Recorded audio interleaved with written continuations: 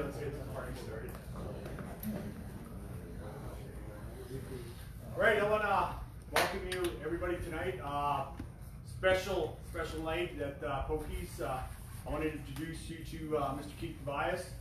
We met, oh, we were sitting there trying to figure out how long ago. We're just getting too old to remember, so we just figured it was a long time ago. I fish against Keith, and uh, he does this for a living. And what he's got to offer you tonight, let me tell you, somebody that spends this much time on the water, I learned a lot from. He's going to open up. He's going to do a presentation. Then he's going to do a question and answer. We did this last time about four years ago when we did this on a pop-up Thursday night when he came up to film the show, Right. and it went really good. So when he's done, he says questions, ask because this is the time, and he'll answer everyone till we're done. Okay? So uh, I'd like to you to present Mr. Keith Kavajecz. Thank you. Thanks everybody for coming out. Uh, I'm always glad to come up and visit Pokey's up here. I don't do these a real lot, but it seems like every time I come up and do a show, they seem to get a hold of me and convince me that I should come and do them, which is just fine because I, uh, I like talking about walleye fishing, obviously. Uh, I have been fishing walleyes a long time. People ask me, you know, when did I start fishing tournaments? I actually started fishing tournaments back in 1984. So I've been fishing a long time in tournaments. Uh, I quit IBM. I used to work at IBM as a computer programmer. I quit doing that in 1991. So I've been full time now almost, well, over 30 years. So uh, it's been a good run for me. I fish all over the place. Uh, a lot, of, of course, in the U.S., but I do come up to Canada a fair amount. And the interesting thing is, is though, uh, as a tournament angler, what I find is, is that no matter where I go, as long as I've got the right techniques and the right electronics to find fish, you can catch fish just about everywhere. So just learning those techniques is really, really important. And whether you're tournament angler or you just go out and walleye fish, learning the techniques is really, really important. So that's what I'm going to cover tonight a little bit. I'm really not going to cover that much of a seminar. I, you know, I didn't come up that prepared or anything. We were out shooting that show, like I said. Tomorrow we're actually driving over by uh, Sioux Lookout. I'm going to fly up north and catch some more walleye. So uh, if this is for you guys. Any question is fine with me. Uh, I'll try to answer it. If I don't know, I'll tell you I don't know. But I have seen a lot of uh, situations. I might not have fished your lake, but I bet you if you describe it a little, I'd probably fish something like it. So uh, any kind of techniques, or if you want tips on any kind of technique that uh, I might use down, maybe you haven't heard about it down there. I'm gonna, you know, obviously last time I was here, shivering was real big. A lot of people hadn't heard about shiver minnow fishing. Uh, Jeff Stadnick and I went out and did a show, and I posted a few times, and people got pretty interested. The next week they fished the tournament, and he told me seven out of the top ten places came on shiver minnows all of a sudden. So we do, uh, you know, that's one thing I like about tournament fishing. We a lot of times get to see the, the you know, the uh, kind of the leading edge techniques. I'll talk a little bit about one that's really starting to get going down in the United States. That's certainly going to work up here also, and that's the snap jigs. I'm sure a lot of you have seen the snap jigs, but I'll try and give you some help on, on how, how you might start thinking about using that up here or wherever you, you walleye fish. Um, like uh, Pokey said though, this is a question and answer. I, I do not have a slideshow, I don't have a script. Uh, so as we go along here, even as I'm talking about a couple of the first techniques, I'll talk about shivering and that snap jigging. If you got questions, just stop me and ask me because that's what I'm here for, is to, to help you out with your uh, tournament fishing. I have, we were out on last mountain, actually I, we came up uh, Monday it must have been, we came up, we were gonna actually shoot a show on Diefenbaker. Uh, Diefenbaker though, uh, Jeff uh, Stadnick was on it and, and he fished Sunday and got a bunch of smaller ones and he fished Monday morning, got a bunch of smaller ones, the big fish just seemed to turn off. And he was a lot more confident. And we actually fished the, the afternoon of Monday and got a lot more small ones. So we decided to switch the show back over to Last Mountain because I really wanted to do a show on shivering. Shivering is still one of the prime uh, things that people love to see on our show because it's so much different than, than in the past and live bait and all the stuff a lot of people do for walleye fishing. And people are finding out more and more situations from reservoirs to rivers to lakes to all kinds of places that shivering works that I wanted to come up and do a show on that and make sure we got some good fish. So we did fish last mountain. We happened to hit that cold front. I think that hurt fishing a little bit, quite a bit. We marked a lot of fish. Uh, we didn't catch a tremendous number. We got plenty of big ones for the show, but uh, we had to work for it the last uh, three days. Today we fished this morning. It was just dead flat calm. We sure couldn't. We just mark them and mark them, and we couldn't get them to fire up. The few we did get were, you know, biting with the wrong end of their body, basically. So we'd snap them and get them in their butt or whatever. So uh, it wasn't that uh, good though. So, but we did get a good show, and, and, a lot of it was just teaching people how to shiver minnow fish. So I'm sure you all, or most of you probably know when I'm talking about shiver minnow fishing, that's fishing a glide type bait. Uh, shiver minnow is just one of many that you can use. Uh, they've got, they were showing me some new ones out here that I think I might be trying just uh, because shiver gliding baits like this are kind of like crankbaits. Uh, they all have kind of a different, they all pop out to the side, but then the way they come back is different for a lot of them. They drop faster, they circle back. A shiver minnow will actually go up, turn almost upside down and come right back to where it was. So they all have a different action, and a lot of times, like crankbaits, you got to play around with them a little bit to see which action the fish actually like. Uh, they're all pretty much the same. You're going to fish them all the same way, though. Basically, going to pop your rod pretty hard. That makes them jump out, and then you got to give immediate slack so that that bait can do whatever it does best, gliding back or circling back or whatever it does. And that's one of the hardest things, especially if, if you kind of grew up walleye fishing and jigging. The, some of the best jig fishermen are the worst shiver fishermen. Because a jig fisherman will lift their rod and then they're, they're holding it and they're waiting for that jig to pendulum down, they're waiting for that tick bite or the bite. They're, they're waiting. If you do that with a shiver minnow pop it and just hold it, it jumps, but then because you're holding it, it just glides back like a jig. Comes back to you, and that's not what you want with a with a, a glide style bait. You want to pop it up and give it immediate slack. You'll see the good shiver fishermen just really popping, and it's almost like you're whipping your rod. It's just whip. In fact, uh, I, I, draw a lot of co-anglers in the tournaments that I, I, fish, and it's a lot of times hard to get them to do it. But over the last year or so, what I've started to tell people is you can kind of tell you're doing it right if you're whipping it and you actually get a loop of line to hop up, a slack loop of line to hop up above the water, or if you're just popping it here, that slack just kind of loops out, and you'll actually see with a shiver minnow, the loop will go, and it's that's when the bait is running out, and as soon as it stops and pauses and turns it, you'll actually see the line stop and then run back to the lure. And you'll kind of know you're doing it right if you get that loop and run, loop and run. So as you're out there fishing, make sure you're kind of watching for that. Because if you start doing that, then you're fishing a glide bait the right way. If you are popping and all you've got is tight line or, you know, a lot the other big mistake a lot of anglers make is they'll pop it and as it's coming down, they're reeling, kind of reeling up line to pick up the slack. You don't want to do that with a shiver minnow or any of the glide baits. The other interesting thing about a glide bait, when it's jumping around down there, it turns out walleyes aren't real agile. A lot of times they'll see that thing jumping around and they actually want to bite it, but they can't turn as fast as a shiver minnow can. And so they'll actually be trying to get it, and a lot of times you're pulling it away from them. And what so what they will do is they'll eventually they'll get upset enough or mad enough. What they will do is when it hits the bottom, they'll pin it to the bottom. Walleyes are notorious for just driving down the drive their nose right onto that bait and just pin it down like stop it and hold it. And that's why a lot of times when you stroke up, all of a sudden the fish is on there. That's because they're trying to pin it to the bottom because they literally can't catch it as it is darting around down there. A lot of people say, oh, you're just snagging it. You aren't snagging them. A walleye will pin things to the bottom a lot of times. So as you're fishing down there, the other thing about that pop is it's almost your hook set too. You're trying to pop the lure, but at the same time, if he pinned it down, you're never going to feel it. You just, oh, there he is, and then you got to kind of continue with your hook set and get him in. The other big problem that with these baits, all of them are heavy lead, and a lot of times those fish will grab these so aggressively or pin them down so aggressively that many times the anglers don't set the hook hard enough. You literally got to try and move that bait in that fish's mouth. And if he's mad at it and pinned it down, and you just kind of give it a half hook set, or your drag is too light or whatever, you will not move that hook in his mouth and you won't drive the hooks in. Then it's barely got him hooked, and as he's coming in, you got this big chunk of lead swimming around or flipping around in his face, and they'll fall off a lot of times. So sharp hooks, we, we make, a, I didn't put it on this one, but you put a bigger treble hook on there. On the number three one, we're actually putting all the way up to like a number four treble hook, so it's a big old treble hook. Sharp hooks, because when you get them fish on, you have to get the, excuse me, you gotta get the hook set nice and hard.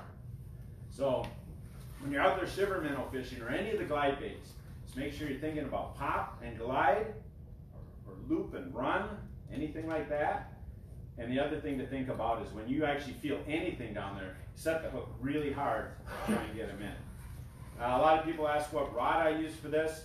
Um, I use a six foot rod. This is a six three rod. So some are fairly short rod. People would think, well, if you're trying to put all this action on the bait, why wouldn't you go to like a seven or a seven six and really get some action on that rod? I find it's just too hard to fish all day. It, this is a very uh, muscle strenuous uh, uh, uh, technique if you're doing it the right way. Just you'll listen to like Stadnick. God, he's a big old boy. Boy, when he pops it, it's like whoosh, whoosh. You'll just hear him whoosh. Uh, I'm not quite that strong, so but I'm still giving it a pretty good pop every time, and that's hard work if you do it all day. So I go to a lighter rod because it's more comfortable in my hand. I also tend not to then over over jump the bait. You can actually, I think, pop it too hard and it kind of blows out at the end. I want a good snap to get it to jump, but I don't need it to jump seven feet off the bottom or anything like that. So that long rod, you actually got to temper how you do it. When you start tempering how hard you pop the rod, you won't get that good hook set then. So a shorter rod, I think even Jeff, he's a big guy, six foot rod is what he uses. So I think six foot, six foot three rod, a medium, uh, medium weight rod. So again, you got a lot of backbone to set that hook is a, is a really good thing. But with a no stretch line. We use like 10 pound FireLine on here, and then we use a 15 pound fluorocarbon leader. Uh, pretty heavy leader on here. The fish are not shy about biting these. They aren't gonna look at that line and analyze it or anything like that. Just go with a nice heavy leader so you don't lose the things on, on pike as much and other things like that. So uh, that's the basic setup that we use for shiver minnow fishing. Anybody got any questions on that? Fishing off the bottom now, I. You're always on the bottom with a shiver minnow. Now, the nice thing about it, the reason I use shiver minnows more than any of the other baits is, shiver minnow is the only one that action is go out, turn around and try and come right back to where it was. It'll actually glide right back to within inches of where it, it actually started. So when you're doing well, like a lot of guys, I see many, many people trying to do this and it's always just vertical. You know, like from ice fishing or whatever, they're always, almost always vertical. But a shiver minnow is one of the few that you can actually cast out there and have a great action out away from the boat. And so a lot of times, like like last time we were up here and we were fishing more up on the north end up there, you know, Jeff was he was just jigging straight down like most people do. But I was actually pitching out and we'd find a lot of fish different places. We'd all of a sudden realize, hey, they're up shallower. Even today, I kept, you know, we'd be in 25 feet of water and I'd, I'd wheel it as far as I could, thinking I'd get all the way up in the you know, maybe 10 feet, 12 feet of water just to see if the fish were up there. One of the nice things about the number three here is if you cast it out and you just hold it on a tight line while it's first going down to the bottom, it drops almost exactly two feet a second. So you can fire it out there and just literally, I'll count. Oh, that was a six count, I'm in 12 feet of water. I'll go a little bit deeper. Oh, an eight count, I'm in 16 feet of water. I'm in 30 feet of water. So I can kind of tell where I casted how deep it was. And so if I get a fish, maybe we know to move in a little bit shallower. We also know maybe stay out just outside of the 12 foot or wherever we caught. So it is a really nice lure. Again, the shiver minnow, I think, is the only one right now that's a really good casting glide bait. I think they're all good for vertical. But again, you got to play with all of them to figure out which kind of retrieve. Like a Jigging Rap is a great lure. You snap it, it jumps out, and it circles back. That's a great action sometimes. But sometimes just out, turn around, come back is a great action. Other, other, a lot of the other baits jump out and then they dive quicker, right out from it. So that when you snap it the next time, it goes zipping out the other way further. They're all different, but those are all vertical presentations. To cast, you need that straight comeback, that come back to the same spot, otherwise it just doesn't work. But yeah, always on the bottom, whether you're casting or you're vertical, um, when you're casting, the one big thing you can do different is cast it out, hit the bottom, stroke it, and then just when you think it's going to hit the bottom, stroke it again. Some guys call that shivering. You're actually making that big jump, it's gliding back, you hit it again, it jumps again, you hit it again. You might do that four or five times to get the fish kind of fired up, and then the last time let it crash in the bottom, and then be expecting that, fish to be on when you, you lift again. So uh, always on the bottom, this is only a structure method. I've, I've caught very, very few fish like uh, suspended. We saw a lot of fish up on Last Mountain. They're five feet off the bottom. You think, well, I'll reel up just above it, like ice fishing, and, and get on them. or twitch it real hard like ice fishing. I've never caught one like that, you know. But I have caught them where they're four feet off the bottom and just the stroke gets it up in their face and then they follow it down and hit it. So always close to the bottom. You're always on structure with shiver minnows. You do have to watch water clarity. It's a very visual technique. If you get where it's dingy water, you know, you can hardly see the bait a foot down. I wouldn't even throw a shiver minnow out there. They have no sound basically in the water. It's all visual. But once you get two or three foot visibility, you know, up on Last Mountain Red, it was probably three foot or so with all the algae and stuff. That's fine. They can see that just fine. They see that darting around. But don't try it. Jeff told me up at Nipawin right now, it's muddy up there. I wouldn't even pull out a shiver minnow in the mud because it just doesn't. You'd have to land one right on his nose basically, and it, it's that's not what the bait's for. It's to trigger the fish with that underwater movement.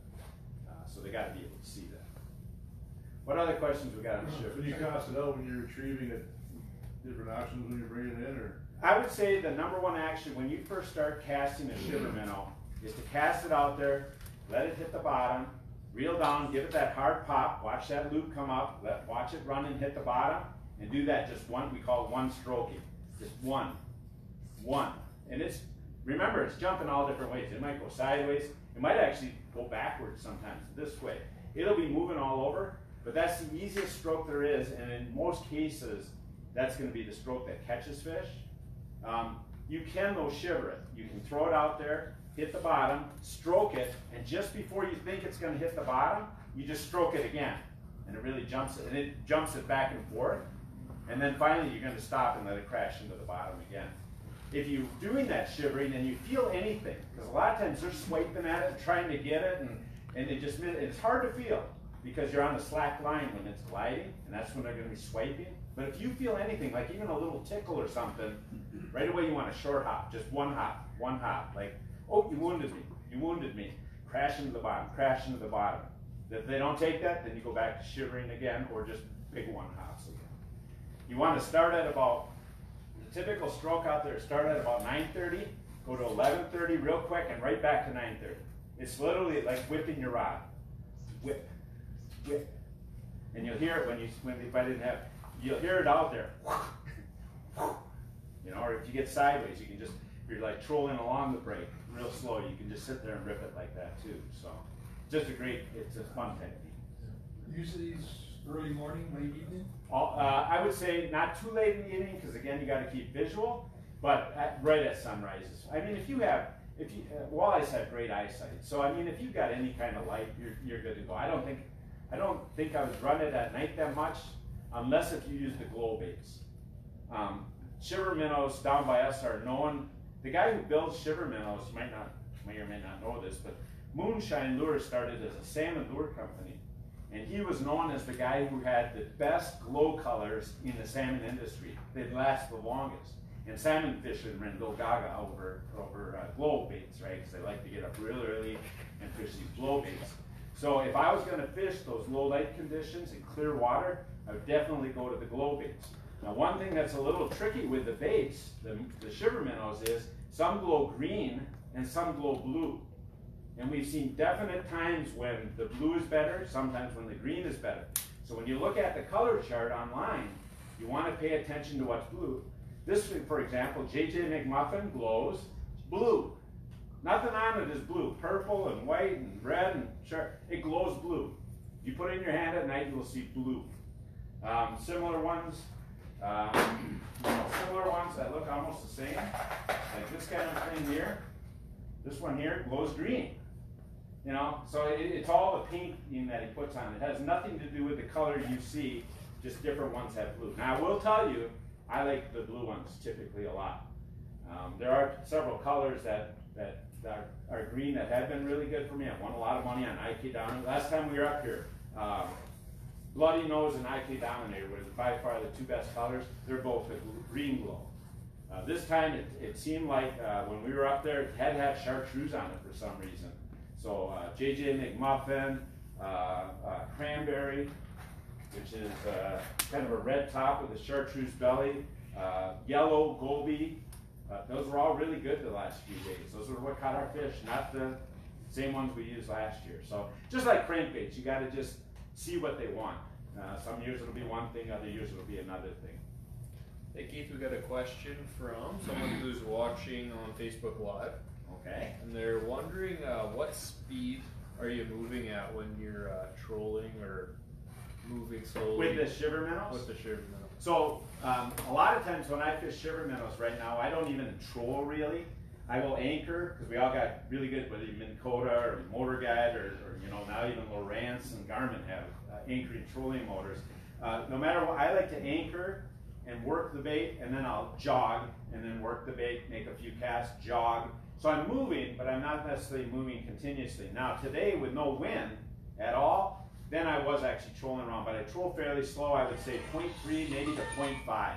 So it's not a real fast movement around. The line's down at about a 45 degree angle. Typically, we'll have one of us kind of popping the lure at a 45, and the other one's still casting out and trying to figure out a different depth. Now, if I'm trolling along, and all of a sudden I see a nice mark on the bottom, I will reel up about as fast as you ever seen anybody reel and flip it right behind my boat and jig it back there. I've actually won a lot of money on tournaments driving around on structure, and when I see a, a nice fish below, you know, I go over one, I'll kind of mentally look back. Well, I just made that turn. You'll, you can see that kind of smooth water that your, your boat and engine make. I'll look, I was making that turn, I'll cast it just beyond that, and then I'll jig it through there and try and catch that one fish.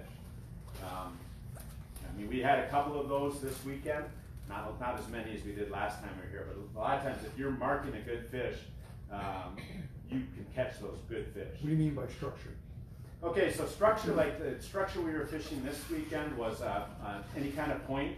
What, what kind of confused me a little bit about last mountain is Jeff was talking about, hey, we're gonna fish these points. And the points aren't real, like uh, reservoir points that come out into the lake. They're like just little bump outs with deep water right next to them. Uh, the other place we were fishing is just sheer ledges. And we'd see the fish on the side of those sheer ledges and we just, uh, there, there we were almost always vertical on. Uh, other places, it's just any kind of uh, struck rock, uh, sand, anything. You just got to graph along it. If you run Lowrance equipment, I will tell you that uh, we started about four years ago using a palette number 13. If you haven't used palette 13, and that's just changing the colors on your screen, that palette is so good because the bottom shows up as brown, smaller fish are red, a little bit bigger fish are kind of red and yellow, but the big fish all had green in them. And the really big fish have dark green in them. So you can literally go along and if you see dark green, that's a big, big fish. And that's kind of what we did during this TV shoot, is we drive around a long time, hope there's some big green marks and we try and catch them.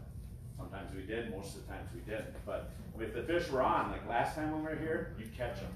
You know, the shiver minnow will just catch them. So uh, big marks, you just got to learn whatever kind of unit you run, what shows a big fish. If that's what you're after. If you're just after fish, then hey, just a nice arc down there, go for it and you can catch those too. But uh, structure is just, you can go, like I said, reservoirs, uh, slow moving rivers. I haven't, not big fast current, but slower moving current, uh, lakes, uh, the Great Lakes we use it on down in the US. Um, just about, when I fly to this place up north, last year they were, uh, Jim Carroll was up there with the guys and they got on structure humps and things and threw shiver minnows at them and crushed them up there too. So it's just any kind of structure, but I would not like go out in a mud flat and go along and mark fish on a mud flat bottom and try and shiver them. I just, I just, I tried it and it just doesn't work. You run crankbaits or spinners by those fish and that's how you get hooked. Um, Typically, fish on structure are eating fish. If they're whale deep on structure, maybe not, but if they move up on structure, the top or the sides and stuff, they're typically doing that to eat. And so that's what you look for, is stuff on the sides or maybe just up on the top of it a little bit. And if you see those, they're typically doing that to eat. If they aren't eating, they slide way deep and they're kind of hanging out down there, not, not too interested. Or if they hit a cold front like the last few days, they come up and kind of just, well, I think they're kind of mocking us. That's what they're doing. Hey, I'm a big green mark, but I biting you, so Yeah. it is what it is. What else? Often when you're ripping up, there's waiting, but you're putting the rod down, then it's gone. Oh, a lot of times. Yeah, he was saying, the question was, is how often when you're sitting there popping it or throwing it out there and, and doing this, and all of a sudden, oh, there's one, oh, and then he's off. Well, Putting your rod, your, you're up and then your brain says, put it down, but there's weight there, what am I doing? Yeah, oh yeah, yeah. You get you get this rhythm where you're popping it, and you you know you're popping it, and oh oh Jesus, and you almost forget to you, you bring it back down instead of setting the hook. That's something that as you shiver more and more, I don't do that. I used to do it all the time. I rarely do it now. I mean, literally, as I'm coming up, it's like my brain is thinking. If you feel anything, you continue. It might be a little double clutch. Oh yeah, there's one. But rarely am I going to go all the way back down to, to the starting position. But it does take practice, I'll call it. You, you just, because you get so used to bringing that 9.30 to 11.30, 9.30 to 11.30. Oh, there's one. But you'll double, you'll start double clutching and getting those. And that's when you know you're getting to be a good shiver fisherman because you, you just learned a, a new way for your mind to think about a bite. It isn't like a, a jig bite where you throw it out there and you lift it up and it's drifting back and all of a sudden you feel that tick and you set the hook. Or you lift up and you feel mushiness, you set the hook. So good jig fishermen get used to that kind of bite.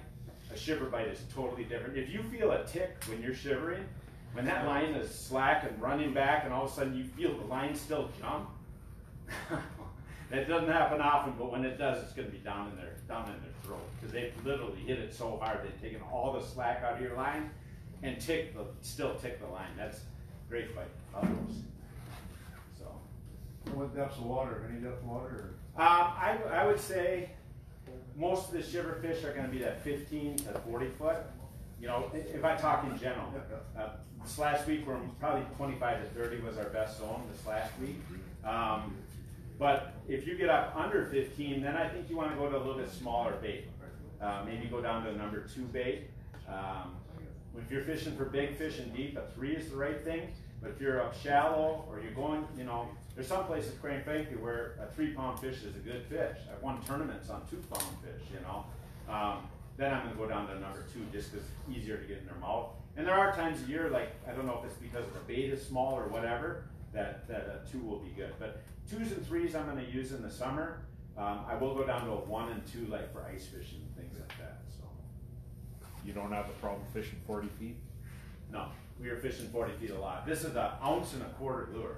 I mean, so when you What about returning fish? Huh? What about returning fish? Yeah, returning's, I know how to fizz real good. If you've ever fizzed a fish, I know how to do that real good. We saw a, couple of guys out there today that, with that weight thing, where you put it on their fin and get them down to the bottom. I thought that was pretty good. I, I just had never seen it before, so I'm gonna start playing with that a little bit because uh, there are times when you're catching them that deep. Uh, typically, the nice thing about, you know, especially these bigger fish, they fight so hard, they, they don't come up real quick. A little fish, you know, you kind of just reel up, probably blow out their bladder or whatever. But uh, the big fish, you know, fight hard enough. They come up slow, take a quick picture and, and kind of handle them quickly and get them in. They, they all go back down. So we didn't have any problems with that. You know, 25 to 30 this week. Um, Yeah. But we didn't hold them out real long either. So. That, that big re- release weight works very well unless the water temperature is really warm, like I fish Nipawin all the time.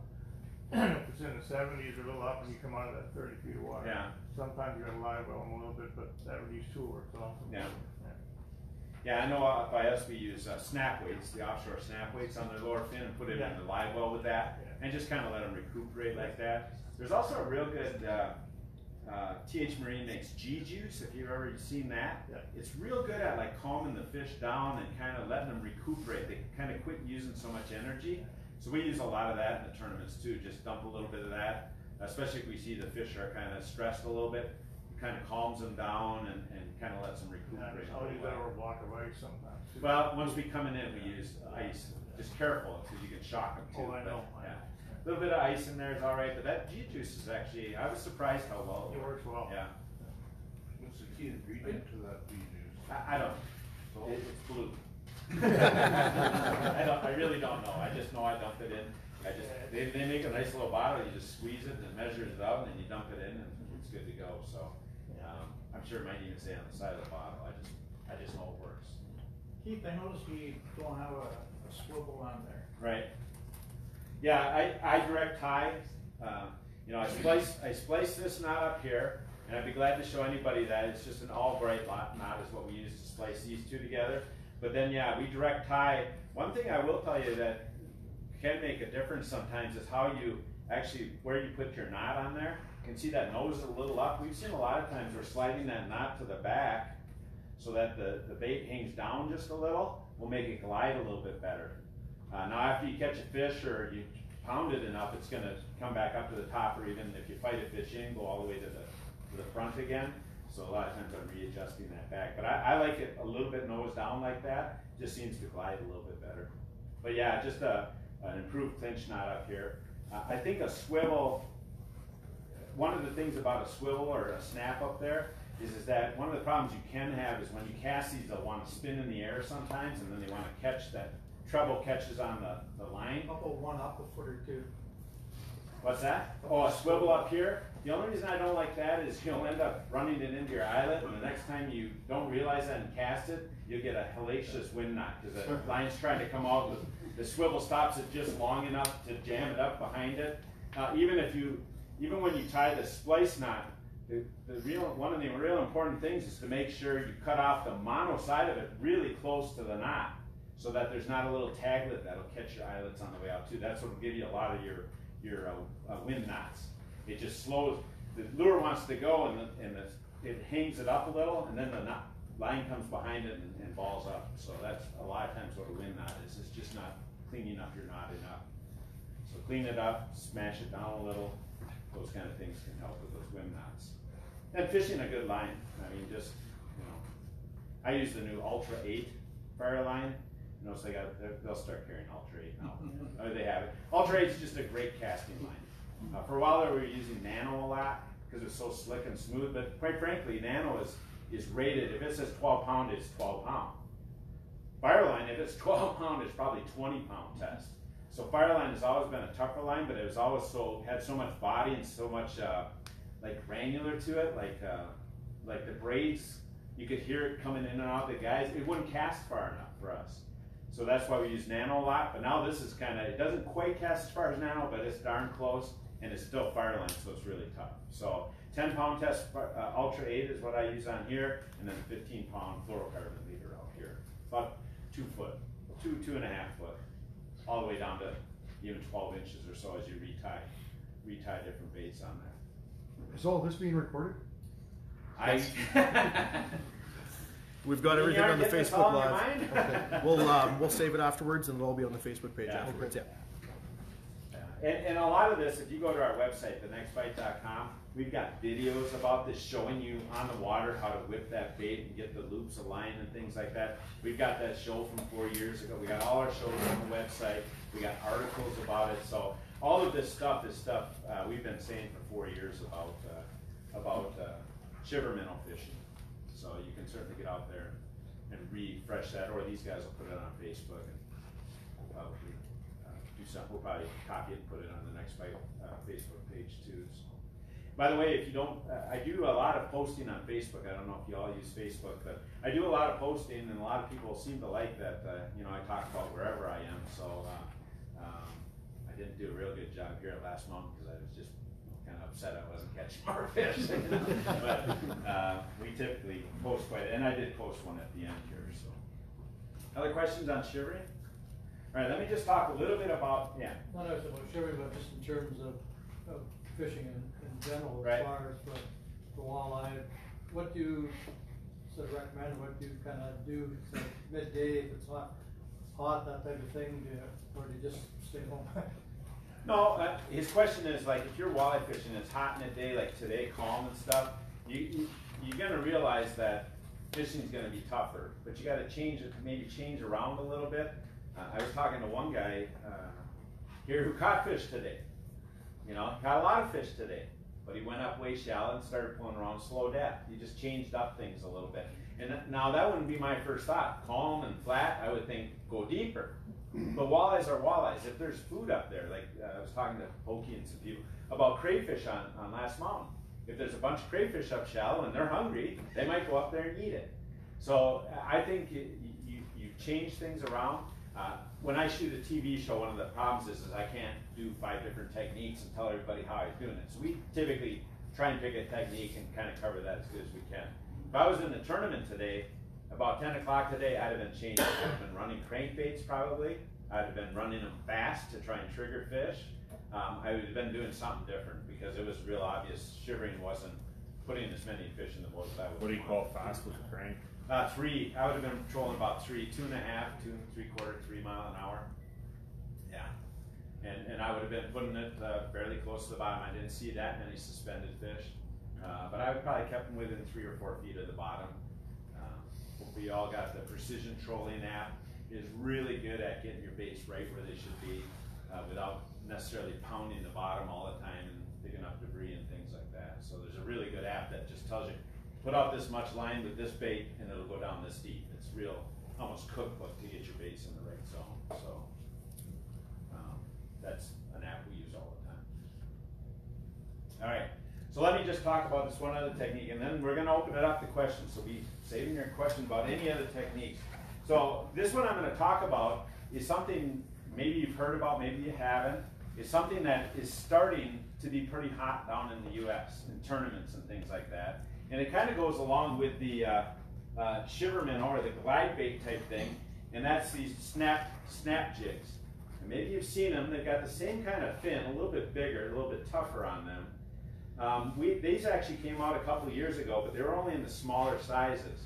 Uh, you know, quarters, half, three eighths, stuff like that. And we had a moderate success, I'll call it. And a lot of times maybe swimming them over weeds and things like that. But they really weren't what we wanted, and that was kind of an alternative to uh, a regular, I'll call it glide bait, the, the Jigging Raps, the Johnny Darters, the shiver minnows. Something just a little bit different, and something that would carry a tail on it is really what we wanted. Well, the bigger snap weights just came out, and I think they're all the way up to one ounce, but like a three quarter ounce, or pretty big ones is what, what we're using now. And the key is, is first of all, the tail you put on there should be a fairly straight tail. Don't put one with a twister or some kind of a paddle on there or any kind of action tail. Just a straight tail, like this is a four inch gulp minnow. Uh, it just lets this thing glide. As soon as you put any kind of action tail on it, it kind of messes it up. But this thing here takes very little stroke and it does the same thing. It jumps and then it kind of circles back and it does all kinds of weird things. You just put it in the water and you just barely move it and it's like jumping all over.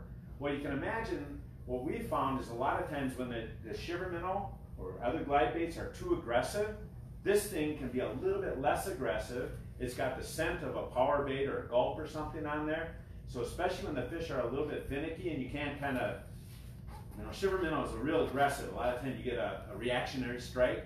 You can't get a reactionary strike, you go to this. Um, so this is, uh, Gary did a show down on uh, one of our big lakes down there, Mille Lacs, and just had a great show, big fish, but it's all, it's a much, it's a much smaller action you put on it. Instead of that nine thirty to eleven thirty, it's probably like nine thirty to maybe ten. it's just whoop, whoop. And a lot of times what you do is swim it a little, one, two, three, and then, then you hold it just like a jig and let it glide to the bottom. So it's a little bit different. It's kind of between a jig and a shiver minnow. Uh, I think you're going to see big things from this thing, uh, especially as uh, you know. I think lakes get smart to techniques. I, I think you know you start fishing Last Mountain, and everybody starts fishing Sherman. I was Pretty soon those fish, either the ones who were dumb enough to fit, get, get caught the first time are gone. You know, people keep them or whatever, or they just get used to it. And sometimes just throwing something a little bit different can really make a big difference.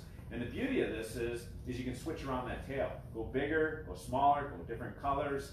There's a lot of things you can do to make this different looking than say a Shiverman, which is just one size and you switch around colors. So um, I, I will just tell you, I think this is going to be really big. I, I know it's going to be. And we've seen enough already that to know that there's going to be a lot of situations where this will be maybe not quite as good as the you know big as the shiver minnow and the and the glide baits are, but it's going to be big. What about live bait? Done live I don't bait? think live bait will be tough enough. Uh, I don't think you need it either. I think you're still getting somewhat of a reactionary bite. You're still getting a, quite a little pop. So you put live bait on here, you're probably gonna pop off the, you know, pop it off. It's not gonna be, and you don't need. I don't think you need it. I think the colors and the textures of the of the artificial tails we've got now are, are just perfect. Um, so, but do stick with the straighter. Nothing curly or, or know, weird, you know. You could put a crawler on here if you wanted a crawler type tail, uh, like a four inch gulp minnow, something like that. I think those are where twitch tails are really good on here. If you haven't seen a twitch tail, it's just got just a kind of a tube coming out the back. But it like quivers and moves, any little movement and it's always kind of moving down there. They don't look like nothing. I mean, if you looked at a package of them there, well, they forgot to put a tail on there. No, they didn't put a tail, it's just a twitch tail on it. So those kind of baits are gonna be really good on these kind of things, straight tails, so. just a little heads up. Didn't want you to get beat in the tournament because you didn't know, right? All right, questions. Who's got questions for me? About and really can be any kind of you know about electronics. It can be about. Uh, uh, I will tell you, we did a lot of mapping. Uh, that new sonar live mapping out on uh, uh, on uh, Last Mountain Lake, and it worked really good out there. I'll tell you the key to the that though with the Lowrance units is if you want to do graphing, what you need to do is get a 0.1 puck. It's the little GPS puck you can hitch up to your units and put that real close to where your transducer is. Uh, a lot of guys are trying to do mapping with their, their console unit and the GPS in their in their console unit and their transducer is 10 foot behind them. So when you go one way, your transducer shows the contours and you turn around and go the other way, you're basically 20 feet apart, 10 foot and 10 foot on where your unit is. You understand what I'm saying? So all of the lines end up looking like this as you graph back and forth in and out of a break. With this one, if you put that trans, that puck real close to your transducer and you start graphing, the lines come out just beautiful. And the more you graph and move around a spot, the better the, the precision of the, the lines is. So as you, even as you're fishing, you just kind of leave it on and it just keeps filling it in better and better. And then next time you go to that spot, there it is all mapped out for you. So uh, if you do have lakes like that, Last Mountain, I know Diefenbaker doesn't have very good mapping. I know, know, a lot of, you know, we're, I'm actually taking one up to this flying trip. I've got to transduce some little brackets so I can graph out spots because I know I won't have any mapping up there. So uh, that's been a kind of a nice new thing. That's those HDS Live units. I've got that uh, sonar live, it's called. Yeah. Got another quick question here. Um, going back to the snap jigs, how Yeah. are they in weeds? So the snap jig, the question is, how are the snap jigs in weeds? Now, if you want to fish a snap jig in weeds, there's two ways to fish it. Go to the little bit smaller ones, like the quarter or three inch, just enough to kind of quickly get it down and kind of know where the tops of the weeds are. So you almost cast it out and kind of count it down, and then you basically never stop twitching it. Just kind of keep moving it towards you, and it'll be bouncing across the tops of those weeds. If you do hit a top of the weed, just give it a little snap to clean it off and keep moving it. Now the other thing you can do is that if you have a little bit sparser weeds, like some cabbage or something like that, where there's kind of gaps between the weeds, then you want to swim it a little bit above the weeds, and then all of a sudden just stop and let it plummet down to the bottom. Sometimes when it's plummeting down to the bottom, those fish will see that and pick it up too. So in sparser weeds, you can do that. In thicker weeds, just go to a little bit lighter one and just kind of work it across the top of it. But same kind of tails. Don't don't use those action tails. A nice straight tail on there. How about for ice fishing? Yeah, we haven't tried it for ice fishing. Uh, but if you watch this thing in the water, you're going to think, yeah, that could work real well. The eyelet is in the top, so uh, when you pop it, it jumps around and moves. We just, you know, the bigger ones especially haven't been out that long. Um, and I don't know why we haven't tried the smaller ones. They've been out for about a year, and we should have probably tried them already. But I, I gotta believe it'll work. I, I think if you're fishing with a shiver or Jigging Rap or something like that, and they're coming in but looking but not taking, you could go a little bit more finessey with a snap jig and probably do really well. It it darts around. I mean, when we first saw them in the tank at Berkley, we're like, yeah, we want those. Get them up to us. Turned out the heavier ones is what we're tending to like in the open water a little bit better. Like those guys. Back to your shiver minnow there. Yeah. When you're uh, when you're ripping it and you catch a lot of them in the belly or the back end or something like that, does that mean you're ripping them too? No. Ripping up too The fast? question is when you're ripping a shiver minnow and you happen to catch one in the gills or the belly or even lower, right? Yeah. um, all that is is a lot of times that fish is making a swipe at the bait and you're coming up so fast he's like either going over it. A lot of times I think they actually hit the line and you feel that and then you just reactionary uh, set it. They just didn't get down and pin it right. Again, they're not real agile and this thing is really moving around. So you will get some of those, uh, you know, fall hook fish, but a lot of times they're actually trying to get your bait and just miss it. Uh, the next time they'll pin it down and you'll have right in the mouth. So you don't want to alter how you're fishing there. You want to, you just get the, the the stroke up is making it jump, but it's also kind of your preliminary hook set because most of the fish you won't feel the bite. It's going to be when you stroke up. They're going to just have pinned it down to the bottom. Uh, very very common. A lot of people think, oh, they're just you're just snagging. You ain't.